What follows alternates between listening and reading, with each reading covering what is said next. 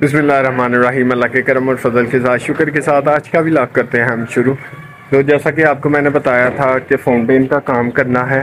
Fountain का जो सा मसला है वो क्लियर करना है। तो इन जो सा है आज फाउंटेन का मसला क्लियर करते हैं।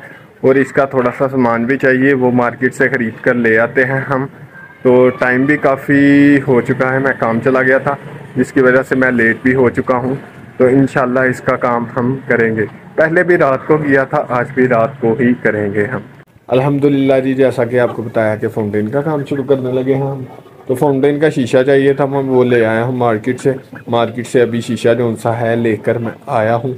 तो अभी ये तोड़ेंगे थोड़ा सा, तोड़ के इसके ऊपर सीमेंट बना के, लगा के तो इन इसको हम बेहतर से बेहतर जो सा ना आज करके छोड़ेंगे इन अभी मैंने इस शीशे को इतनी ईंटें मारी हैं कि ये टूट जाए लेकिन ये टूट नहीं रहा। तो खैर, कोई भी इतना मसला नहीं। इसको हम ऐसे ही रहने देते हैं।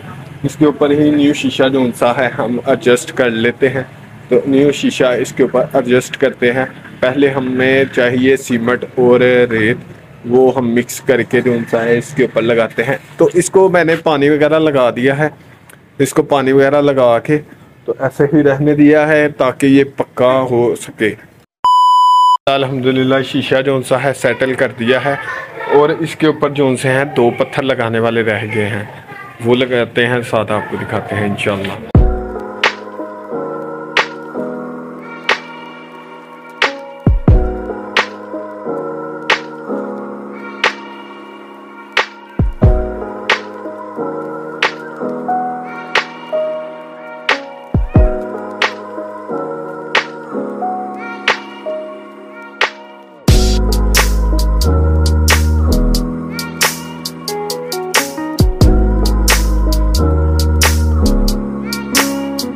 अल्हम्दुलिल्लाह, ये तो काम हो चुका है। अब इंतज़ार करना है यार। थोड़ी देर इंतज़ार करना पड़ेगा, क्योंकि ये थोड़ा सा खुश्क हो। नीचे जो सा है, सीमेंट लगाने वाला है, ये जैसा कि आप देख सकते हैं।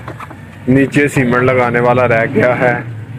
तो यार, ये इंतज़ार जो सा है ना, ये बहुत मुश्किल होता है। दोस्तों, बकाया इंतज़ार के किए बगैर जो सा है ना, आप, मैं इंतज़ार करता हूँ। आप मेरे चैनल को सब्सक्राइब करें। ठीक है। मैं इंतज़ार के लिए बैठने लगा हूँ। अभी इंतज़ार करने लगा हूँ यार जल्दी जल्दी से काम हो जाए मेरा।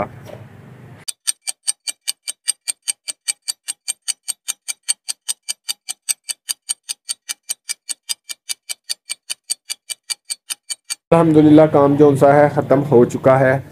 तो अभी मैंने नीचे से जो सा है, डंडा नहीं निकाला, क्योंकि यार उसकी वजह ये है कि ये मैंने ढंडा निकाला तो ये पीछे से अभी पक्का नहीं हुआ। क्योंकि पहले वाला जोन सा है, इसके नीचे लग गया था तो वो आराम से एडजस्टमेंट हो गई थी उसकी।